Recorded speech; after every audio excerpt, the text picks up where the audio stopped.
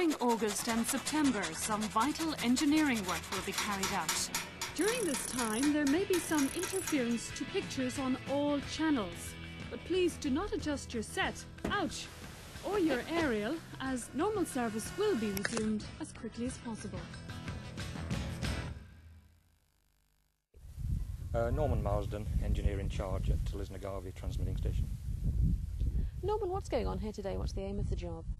Well, it's to replace the television transmitting aerial which uh, broadcasts uh, all four television services for the province from Divis. It's 27 years old and uh, it's suffering from uh, age and uh, worn out, so it needs replacing. So what's the logistics in doing such a job 500 feet up? Well, uh, first of all, safety, paramount, and the um, the logistics of, uh, getting that aerial down, which looks quite small when you look at it from a distance, but it's quite big and it weighs quite a quite a lot. So there's a quite a lot of uh, preliminary construction work needed to erect a temporary aerial and then to erect a device to call a derrick to remove the old aerial and then use the same device to put the new aerial in place. And how long will all that take? Uh, it's around uh, three to four weeks for the, uh, the actual replacement, but we've been working here now for uh, three to four weeks more with the preliminary construction work, but no services have been affected so far. Who might be affected? You say you're putting a te temporary aerial up?